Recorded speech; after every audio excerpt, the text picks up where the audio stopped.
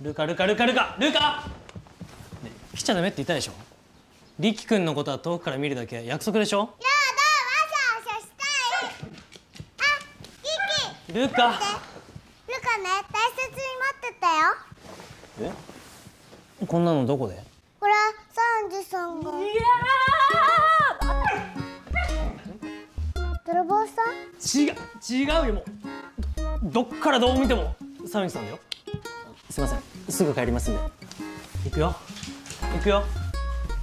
行くよ。行くよ。ルカ。ルカ。ルカあらじゃあのじゃあさ今日保育園から帰ったらお庭でリキと遊ぶ？ダメ。そんなことしたら西園寺さんが何かしらの家事をすることになる。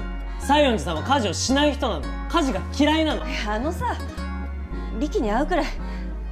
ね